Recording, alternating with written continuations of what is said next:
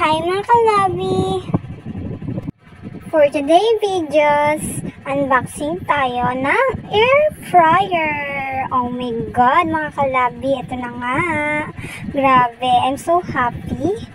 Kasi nakabili sa labi ko ng ganito, oh, air fryer. Tagal na namin itong gusto. Nagtitiis kami sa uling-uling lang, ganun. Ngayon, grabe, meron na kaming ganito. Thanks sa Fidelity. Ito na, mga kalabi ko. Tsun, tsun. Oh my God. Ay, grabe, excited, excited ako dito. Yan na. Air fryer. 4L po siya, mga kalabi ko. Yan. Sobrang ganda.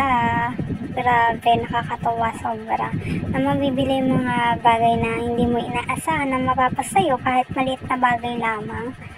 Sa simpleng bagay, matutuwa ka. Yan, 4L air fryer yan. Nakalabi, ito na. First, sinalang namin diyan. Ang binabad kong manok. Favorite kasi ni Lovey yan eh. Siyempre, favorite ko din. Kaya yan.